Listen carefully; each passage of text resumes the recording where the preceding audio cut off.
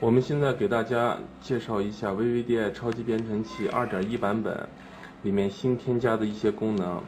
我们先看 PIN 计算器，我们将 PIN 计算器的菜单打开，大家可以看到，在 PIN 计算器里面有许多的菜单，我们常用的，我们常用的里面有现代、福特、马自达。以及尼桑，我们一一来看一下。在福特计算器，大家可以经常用到的是六位码转四位码，我们任意输入六位码，我们点击计算。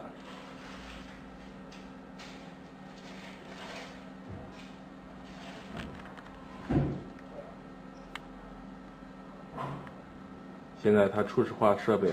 因为这些计算器都是免费被加入进去的，所以在它每次计算密码的时候，它必须要验证设备。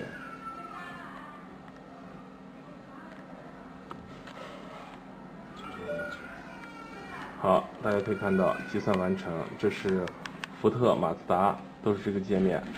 然后呢，我们还可以看到尼桑，尼桑在两千零七年至二零一三年是一款老款计算器，两千。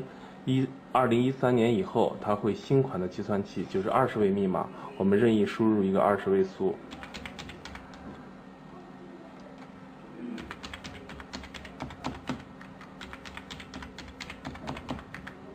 好，我们点击计算，同样它需要验证设备。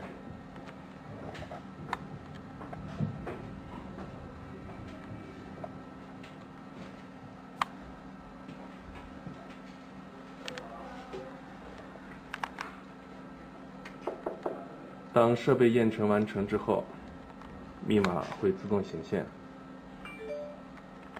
我们再来看一下它计算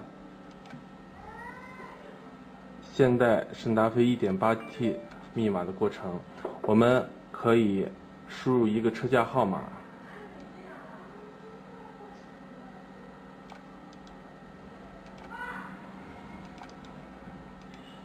然后点击计算。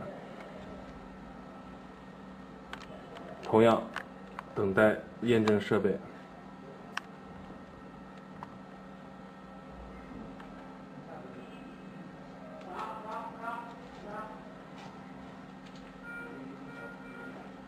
好，设备验证完成，大家可以看到密码已经显现出来。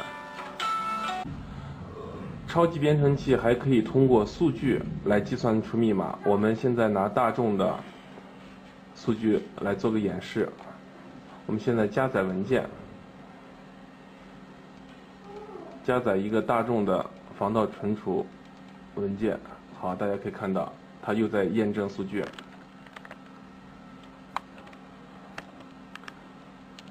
等待设备初始化。大家可以看到，密码会在这里显示。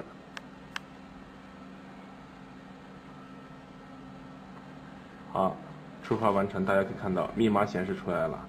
密码是二九五幺四。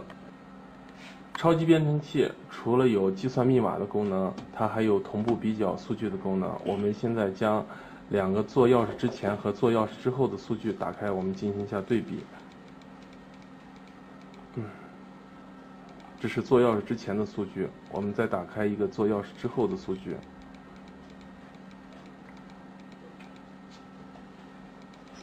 好。我们点击同步比较，大家可以看到数据区不一样的地方，它会有黑色的标记标记出来。这样的话，就对于我们研究数据的写入以及密码区的分析，提供一些便利的条件。好的，就讲到这里。